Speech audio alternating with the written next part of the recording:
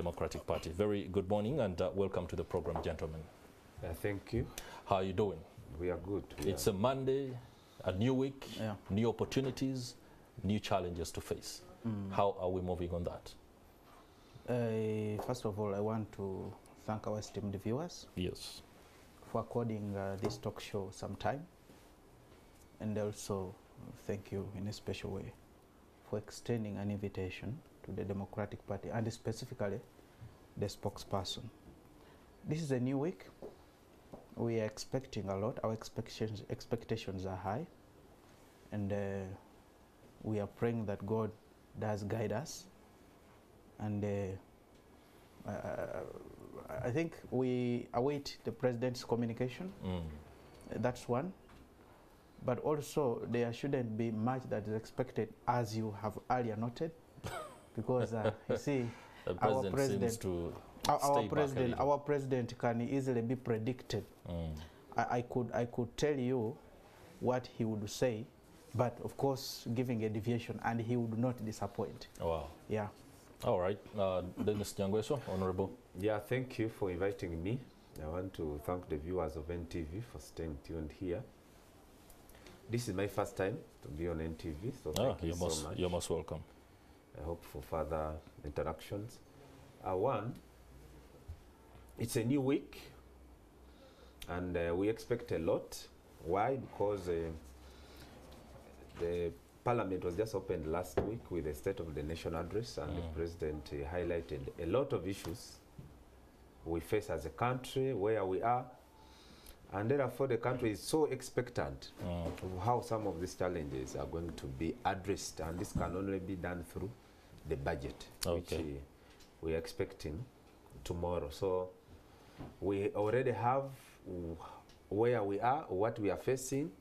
We only need to know how we are going to to go beyond the, the problems we have been uh, told by the president, how mm. the economy is doing, how the population is, and uh, what interventions the government intends to All right, thank you very much. I'll keep, uh, or rather stay with you, Honorable Nyangweso. You're a member of parliament and, of course, uh, deliberations on the national budget. Uh, right from uh, the point of the budget framework paper, you've been uh, buried in one way or the other into it, and uh, we know exactly what's going on. Just give us a brief of uh, where we are. We all have an idea of the 48 trillion shilling budget that is uh, going to be read. Everything has been uh, outlined uh, pretty much. But you, as the person or one of those people who are buried in the making and the design of this particular budget, what should we fundamentally look out for? Yeah, thank you. Thank you so much, moderator. Yeah, it's true. I have been part of the budget formulation process Mm. right from the budget conference in September last year. Why? Because um, I happened to sit on the committee Mm. of budget of parliament, but I'm also a member of the Presidential Advisory Committee on the Budget, the PACOB, where I sit as a vice chair on Public Sector Transformation Cluster. Mm. And uh, there, we are privileged to, first of all, mm, get the government priorities, align them both to the National Development Plan 3 and also on the promises of the sitting government. That's the NRM manifesto. Mm. And I was part of that team under PACOB. And uh, from there, we delved into the the budget conferences which took place in the, the entire country and uh, it culminated into the development of the budget framework paper that was presented to, to parliament last year discussed through the various sector committees and then the budget committee presentation to the house Mm. we saw the budget framework paper of course had um, uh, figures that were around 47 trillion shillings. Mm. People might be wondering why we have moved it to 48. But uh, from the time of the budget framework paper and the discussions on the government priorities and allocations and reallocations, I think um, by the time now we moved to the ministerial policy statements that Mm. were presented to Parliament, Yeah. we're almost hitting the 48 trillion target. Mm. And of course, there were some adjustments that were done through recommendations of the sector committees to the budget committee. And also, the, the, the priorities which uh, the, the, the, the budget committee considered while presenting to the House.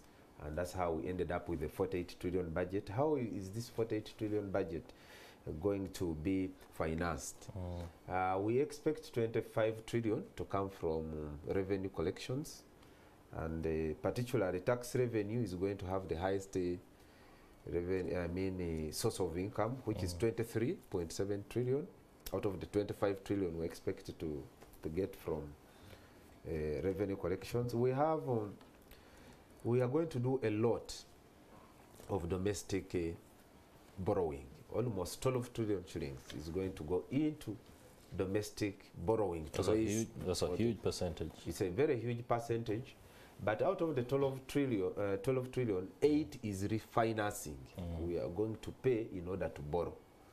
I don't know whether you get that. So not all the 12 trillion is going to be, we are going to borrow 12 trillion, but out of which 28, I mean 8 trillion will be for refinancing. Basically, we are going to borrow on top the 4 trillion to mm. make total 12 trillion. Of Okay. course, uh, we expect uh, mm, external borrowing, which is almost uh, 70 trillion. Mm. Then we have also some budget support to total now up to 48.1 trillion shillings. Okay. Uh, now, when we go to the appropriation, Mm. we have um, key sectors. You saw, those of you who listen to the president, the president uh, talked an, about. that's an interesting one. Those of you who listen to the president. those of you who listen to the president. Because our colleagues in the alternative or the Mm. opposition were not part of us at the opening of the second session. But I'm very sure they also They- listen, they listen, no listen doubt. too, and because they have a, a constitutional requirement to respond to the president's address. Mm. In his address, the president guided us that in order to transform this country, we must add value to what we produce. So it's not just about producing, but adding value Adding to value what to we it. produce. So we expect much of this budget actually to talk to this problem. Mm. And that's why we are very expectant of tomorrow's budget. We want to know does the solution talk to the problem? Because the Mm. problem has already been Identified. identified. Yeah. So want to see the how is what is important. that's how we are going to. Okay, that's a very uh, good uh, analysis of uh, the overall look of uh, the budget as it will be presented uh, tomorrow. Let me come to you, Opio Okalero, spokesperson for the Democratic Party. He has just alluded to the fact that the alternative government, the opposition, uh, boycotted and perhaps might have not listened to the president, though they are mandated by constitution to listen and then offer reaction to his speeches. We do hope they listen in tomorrow, both to the minister and the president. But from your point of view, the Democratic Party, you have members of parliament who are buried in the thick and thin of uh, the construction of the greater budget framework and how it uh, rolls out.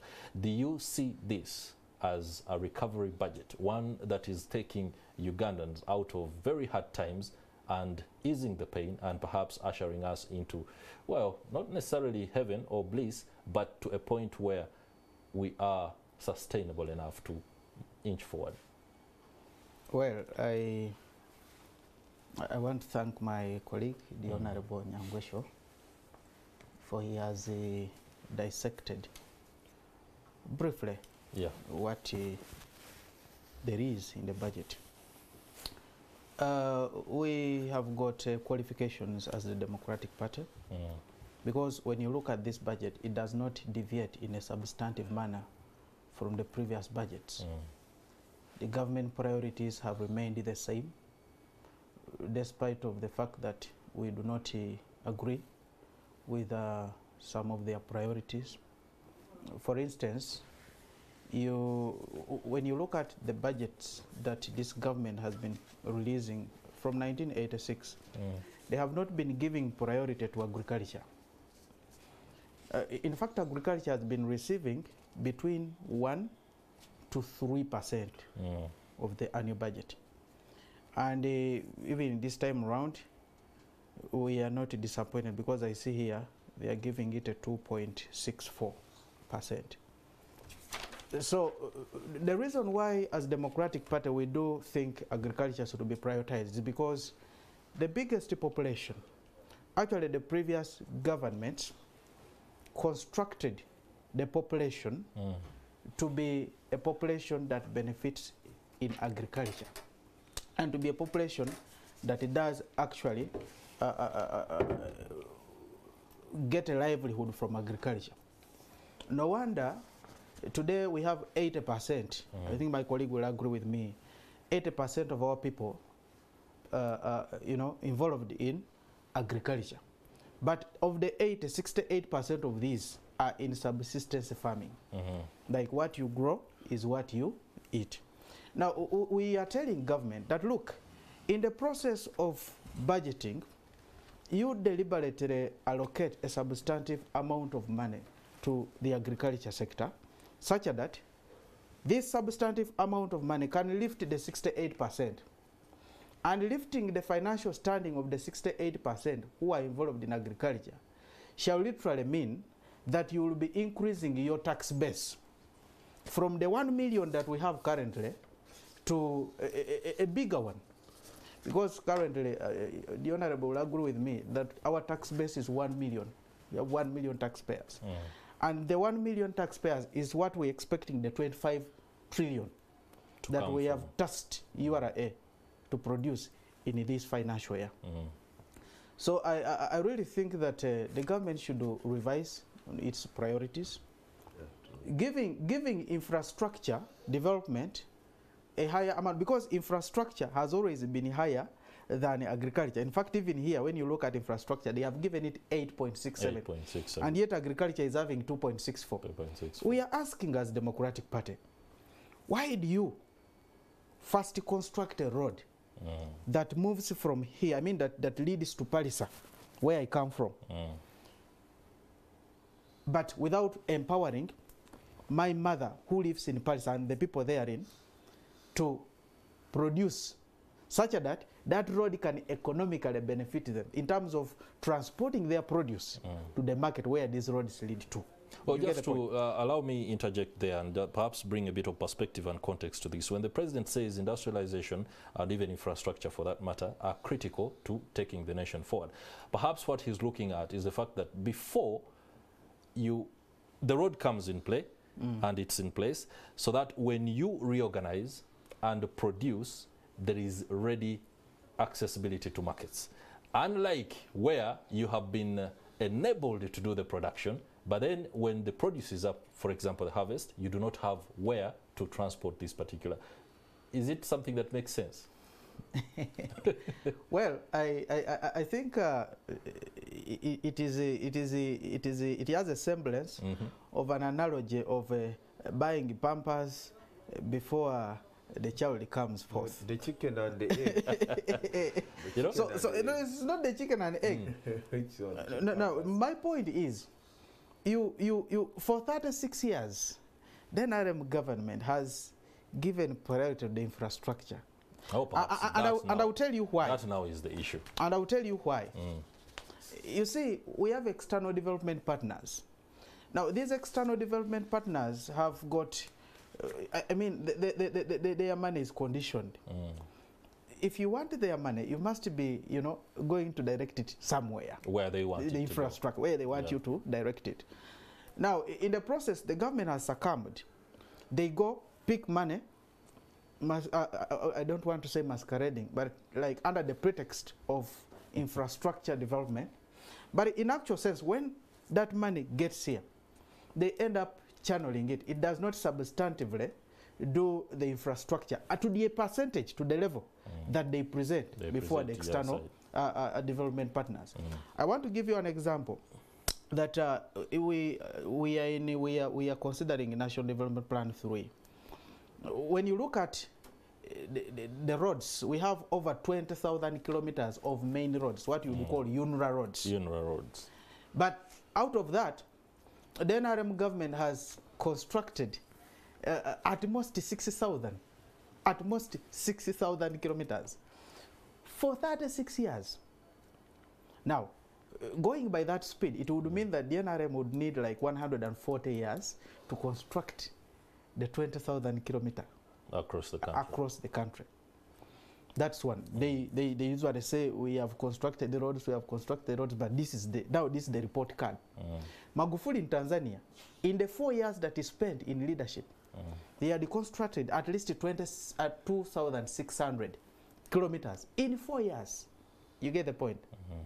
Now, if in 36 years, the NRM government can construct 60,000, and Magufuli in four years would construct almost a half of that, then I wonder what's the difference? What's making the difference? So Well, I, I a- think I think that's I a think there is a, there is a uh, lot of there is a lot of mm. corruption. There are lots of grey areas. There are lots of leakages Mm. in this government that we have to cover. I would personally say the jury is very much uh, still out on that. And of Mm. course, uh, there's a gentleman earlier in the w- last week who was telling us that uh, President Yoweri Kaguta's Muse- Museveni uh, legacy shall be written after he has left power. We shouldn't be uh, making analogies of what he has done in 36 years, although it is perfectly uh, within your mandate to do so. But let's just go into the No, no, maybe before the colleague comes, before he just, does. just just small just one. one. Uh, there is no reason why Mhm. you should invest in, for instance, electricity. It is okay. But when the poles pass by people's, you know, land, Mm. and the people cannot benefit out of that. So we still insist as Democratic Party, give priority to agriculture, give the people capacity, such that if, by the way, do you know that connecting your house with electricity, it is more expensive than some houses that Ugandans sleep in, in the villages. A person sleeps in a house of 100 or less Mm. and connecting a power goes for around 2 million plus. Now, where are you leaving those people? You are constructing a country with a substantive distinction between, actually, you are creating classes among people. Mm. And you are, you are, you, you, you are sealing and, and buttressing that gap. Because there are people in Uganda who have no dream of enjoying the power. We shall be asking the Democratic Party for an alternative uh, policy, you know, framework. or we, we, we, have those. We have those, and we have, we have presented, exactly we have that can be done. presented them. But allow me bring in the honourable member of parliament, especially on integrated transport infrastructure development. He says that, uh, well, it is okay to have these roads in place, but perhaps nothing or very little is being done in terms of ensuring that it's actually as uh, sufficient as it ought to be. You were in the thick of uh, defining this particular budget. What Uh, informed those specifics? Yeah, thank you so much. When I was at university, in my Mm. economics class, I was um exposed to stages of growth. Mm. And in the stages of growth, we have a predominantly traditional and prim- primitive society. Then we have, um, in order for that society to transform, there's that precondition to take off. Mm. Now, in that precondition to take off, there are certain undertakings Mm. that uh, governments must do in order to prepare that economy for takeoff. And some of these preconditions to take off uh, initiatives Mm. include what my colleague here is, is, is challenging development of infrastructure. No, this is a precondition to take off. You must generate enough power in order to attract industries to consume this power. You must interlink the country such that business, uh, businessmen and uh, goods can easily flow. Mm. But uh, I want to a greater extent agree, want to agree with him on two issues. One, the percentage of the budget we spend on the agriculture is relatively still very low. But I want to give him hope that in this budget we have seen a Wow. deliberate allocation of funds for Mm. the parish model, parish development model. This devel- parish development model is supposed to help us to generate production. Mm.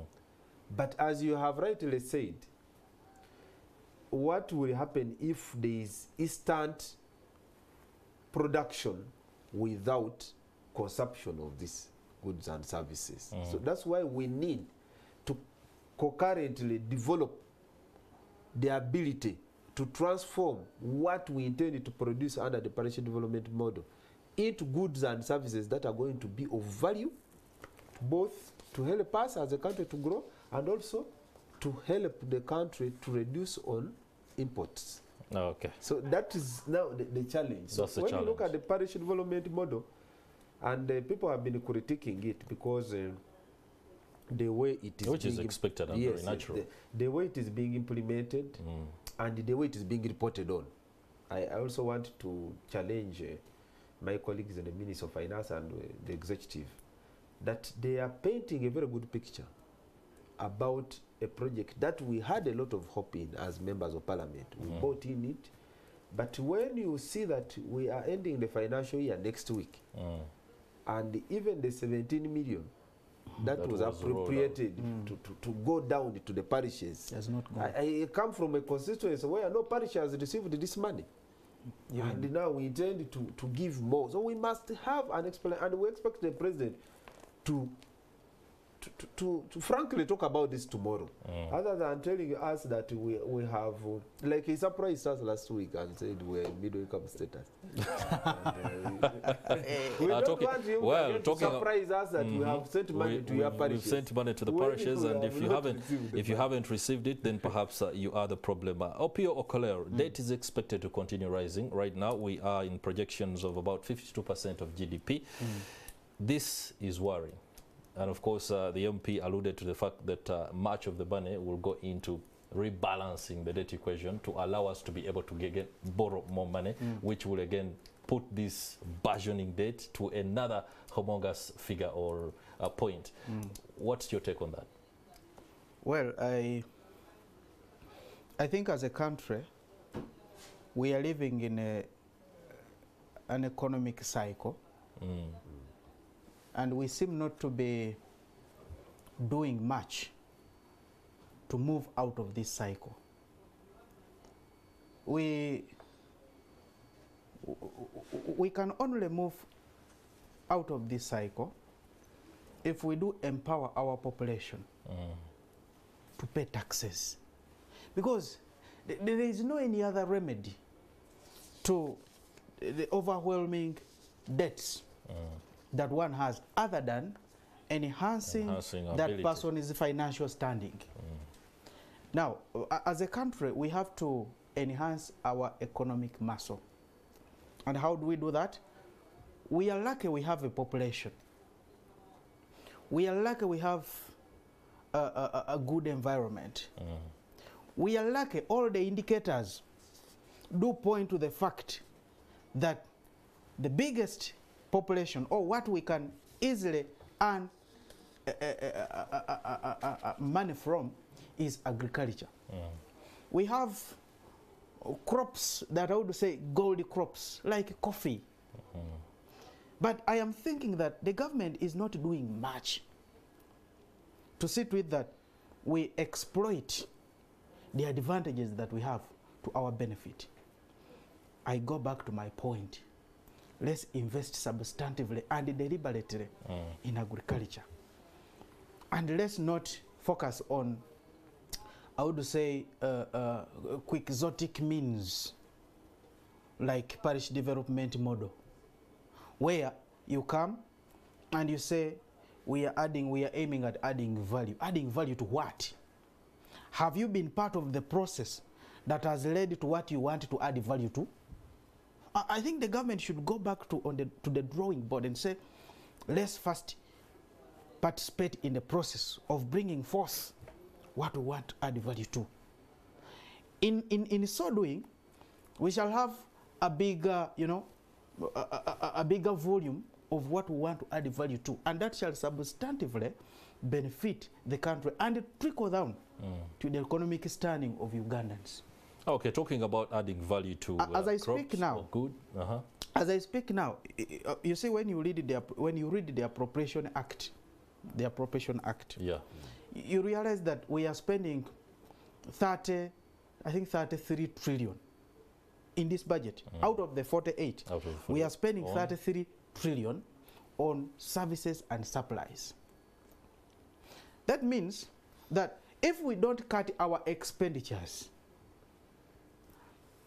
and yet we do not increase our income, we shall continue borrowing and we shall continue swimming in these waters of debts? The MP is right here and uh, sitting on the budget committee. He should be able to uh, give us an idea of how exactly that can be achieved. However, it comes with the backdrop of members of parliament uh, seeking to have an increment in their own salary at a time when the average Ugandan is grappling with inability to afford the basic goods.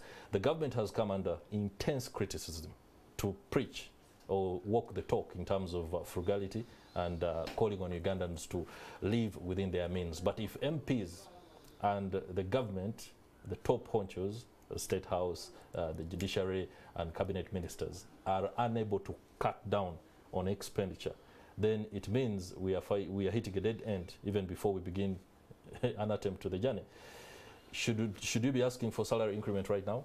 Yeah, thank you so much, moderator. One, before I go to that, Mm. eh, there was a discussion here about how do we navigate Mm. the, the, the, the limited resources vis-a-vis -vis the enormous demands. I mean, uh, U U- Uganda Revenue Authority came to Parliament and presented to us and asked us to support them. Mm. They have a domestic revenue mobilization strategy, which they required us to support in terms of funding, Mm. such that uh, they are able, because right now, they told us that uh, the tax to GDP ratio is, uh, is not even 15%.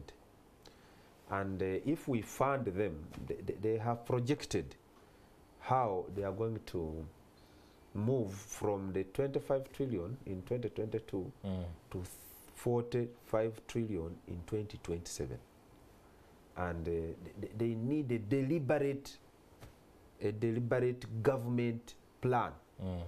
to fund them such that we, we, we can reduce on this burden of borrowing you know borrowing one i am among people who critique government especially when it comes to domestic borrowing because we have crowded out the private sector Yeah. Mm, and as a result we have increased the cost of borrowing mm. Borrowing and rate. therefore once we handle the support the domestic revenue mobilization strategy we are able to fund at least 70 percent of our budget as as for now Mm. we can only fund 53 percent But this appears to have been the But, talk, uh, the lamentation yes, for the last 15 I- I, years. that's why i'm telling you the that need I, to be able I, to fund our own budget. the, the, the, the, the, the, You know? the, the URA mm. is Mm. under Ministry of Finance. Mm -hmm.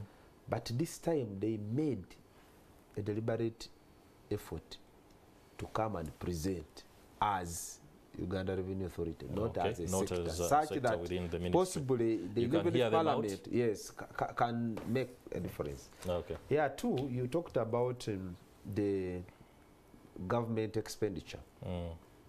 Including MP Yes, salaries. Including MP salaries. One, I want to assure the country that uh, MPs did not uh, increase salary and we are not going to have uh, a salary increment for members of parliament. Just to be clear, But now, I, I am coming to MPs you. are seeking.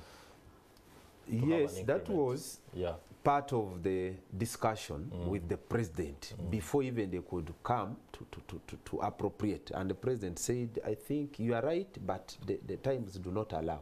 Mm. And there were no single, there were no Objections further, yes, yes, Mm. discussions. However, we have seen that uh, there is a lot of leakage, as my brother has said, in the Mm. budget uh, implementation process. And our biggest role as members of parliament, apart from making laws, is to provide oversight, Yes. Monitoring and oversight. monitoring. And to do the monitoring, one, there, there was a cut of the budget of parliament in the last financial year because of the COVID and also COVID restrictions. And now the increment, some of that increment is as a result of to cover up what had been cut. Mm. But two, to provide members with some kind of facilitation to enable them to do oversight. I want to tell you, we have a, a committee on foreign affairs. Their work is to try to find out how government is doing in terms of foreign policy. They are required to travel.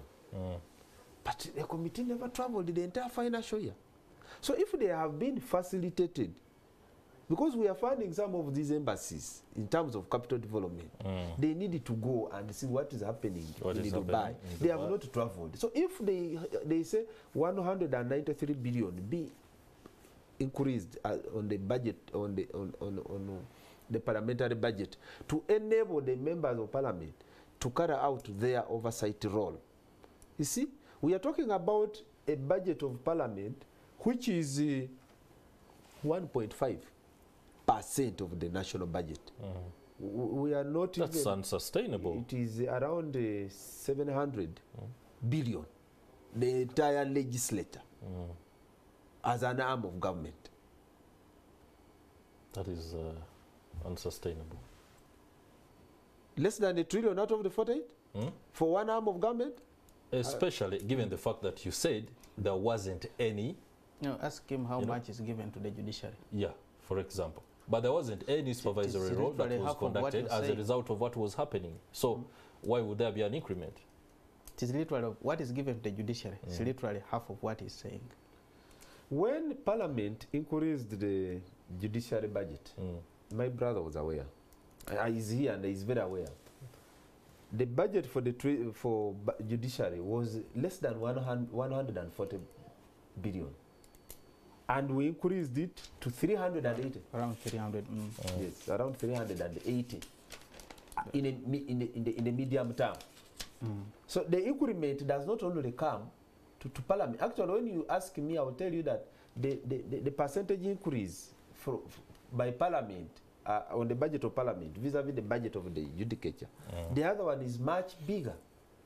But you see, focus on uh, statistics and percentages can blind you in uh, making a decision. For example, when you say 700 billion and you give the expression that it is actually not much and shouldn't cause concern because of the percentage, then we, not blind, that we blind I ourselves to the realities when you look at uh, what we do or what we are supposed to do as, uh, as a parliament. Mm. you see the problem has been uh, uh, Your mandate is clear. how, how, as, do, how, as members how of parliament, you expect us you've to always, as members of parliament, many of the members of parliament have sought to give the impression that perhaps the public do not understand exactly how MPs spend their money or what they are supposed to spend their money on. To the extent that if, for example, there is the need for an increment, we should be in position to understand. But for, Actually, we should not be facilitated because of how we spend our money. We should be facilitated because of how, how our work. You see, I cannot uh, delve into activities Uh-huh. that do not. Uh, not part of my mandate. but when to on the- when on the what- then I, I come and are say quick I should to be give these facilitated. explanations. I should be facilitated. please I help us be facilitated some because perspective of on the that. work I- I, I- do. I Let's I, hear Mr. Kolero. I think I should make a fair comment. hmm Uh, generally speaking, and with all sincerity, the money that members of parliament get vis-a-vis what uh, other countries in the region give their members of parliament, in Uganda at least, is still low. Mm. But those people in those, the members of parliament in those other countries, they are few. They are fewer. That's one. Yeah. Yeah. Fewer. A- And then two, their country, their countries, most of these countries are in, in the middle income status. We are not yet there, even though we want to assume that we are there. We want to be there, That's true. and we are working towards that. The third one, Mhm. it is the responsibility of members of parliament. Actually, I don't support them when they do crave to increase, to enhance their comfortability Mm. even in times as bad as these. Why? Because it is their responsibility. These people do budget allocation, they do appropriation as one of their roles. Now, they fail to, uh, to give, to do that in accordance eh, with uh, a strategy or to support strategies that would enhance the income base such that we, we, we increase our financial muscle and they resort to being stooges of the regime of the president. Because when I talk of the president, I mean the executive. Because literally, the executive is the president. Why? Because even the ministers wield powers that have, that have been given to them by the president. So the executive merely is the president. Now, These members of parliament have to go back to the drawing board. If they want to earn more than that, they should first enhance the financial standing of Ugandans to mm-hmm. the extent that they are able to fund at least 80% of our budget. If we are there, I will have no problem with them causing an increment on their salaries. Okay, talking about enhancing the ability of Ugandans to be able first and foremost to spend and pay taxes and perhaps allow members of parliament uh, to demand whatever they can demand. Before COVID, 1.72 million uh, graduates in the country uh, sought employment. Right now, the president has spoken about industrialization and how it's going to fix uh, everything. In terms of uh, the upcoming budget, what is the specific action points in terms of uh, ensuring that unemployment problem is tackled and that youth are allowed to be able to flourish and uh, be able to be uh, better contributors to GDP? Very quickly. One, under the Ministry of Gender, we have um, a program called uh, Green Jobs, Mm. Which we have funded Mm. adequately, especially in this coming budget, Yeah. because we have known and understood the importance of this program under the Ministry of Gender in terms of skilling Mm. the youth and also providing them with startup capital. So we have, um, under the ministry, you remember that we have um, reduced some of the money under Youth Livelihood Project, Mm. and we intend to use it under the parish development model. However, we have increased funding to, almost, to over 100 billion for under green, green house jobs Mm -hmm. and this was uh, something like 13 billion in, in the last three Prior- years. yeah. But now we are we are targeting almost 180 billion come 2023, 2024, and this we hope will uh, we will focus our youth to to, to, to to try to get skills, practical skills, Mm.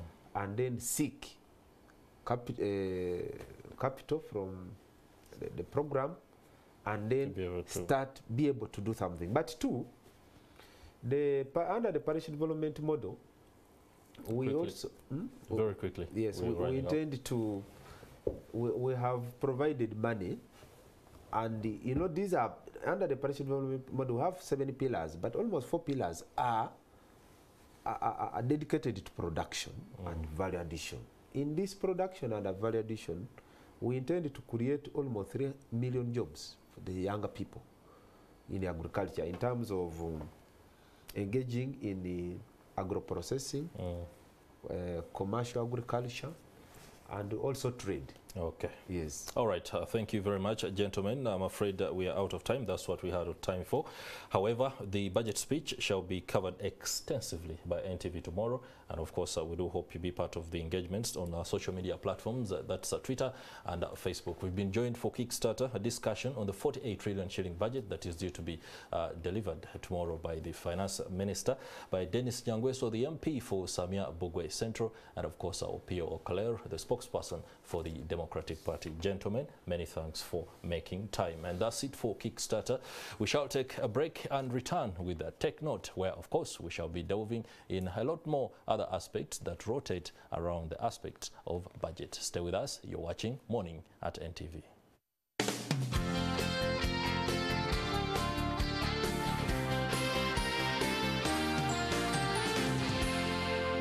You're watching Morning at NTV.